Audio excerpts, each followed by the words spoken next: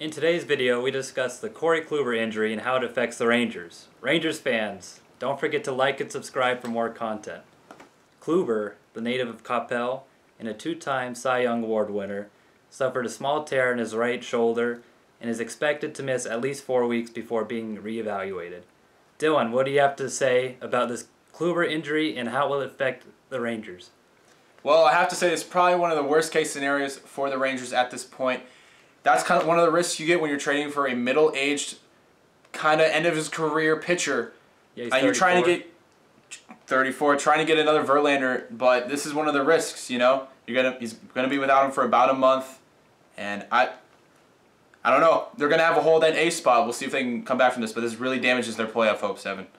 Heading into the season, Rangers fans, including myself, are pretty optimistic. We had Mike Minor and Lance Lynn coming off strong years, and then we traded for Kluber. All we gave away is DeShields and Clase, and we were thinking we were going to get two-time Cy Young Award winner, although he's been, you know, kind of rusty dealing with injuries these past couple of years. But, you know, it sucks that not only is he injured, but after just one inning, he gets hurt and he's going to be on the shelf for at least four weeks. Dallas Morning News insider Evan Grant thinks that even after the four weeks, he's pretty doubtful that Kluber will actually come back and pitch.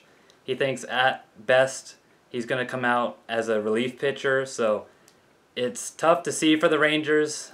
Uh, they're going to call up Kolby Allard, who has a career ERA just over six, but he's only pitched about 53 innings in the big league so far, so it's not over for the Rangers. Obviously, we're No, only through not. a couple of games, but there's uh, it hurts the hope here, especially with the opening of the new ballpark.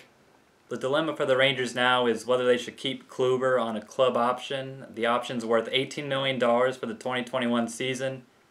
Rangers general manager Jon Daniels has a lot of things to debate and discuss with the front office as Kluber is heading into his age 35 season.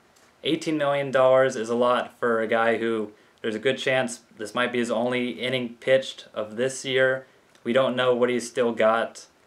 A lot of questions, a lot Yeah. more than there are answers, but maybe Kluber will take a hometown discount. Uh, you can only hope. I mean, it's got to be frustrating if you're Daniels. You just got your dream car, and it turns out the pedal's not working correctly. You're going to have to take it back to the shop. This is one of those situations you just got to hope and pray it gets better, and you finally get him back on the field at some point this season. It sucks because the season is short to 60 games, but hopefully the batters can get hot. Now, that's all we have for you today. Leave a like. Tell us what you think about this whole Kluber situation, and we'll see you next time.